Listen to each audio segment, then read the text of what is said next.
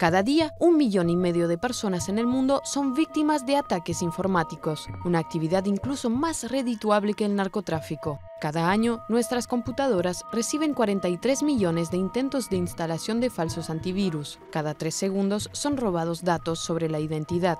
Un cibercriminal puede luego fabricar falsos documentos de identidad y lograr ingresos por hasta 17.000 euros por mes. En el mercado del cibercrimen, un número de tarjeta de crédito puede comprarse por tan solo 2 dólares y el acceso a una cuenta con más de 82.000 dólares se paga 700 dólares. Los teléfonos inteligentes también son vulnerables unos 280.000 programas maliciosos circulan en el mundo.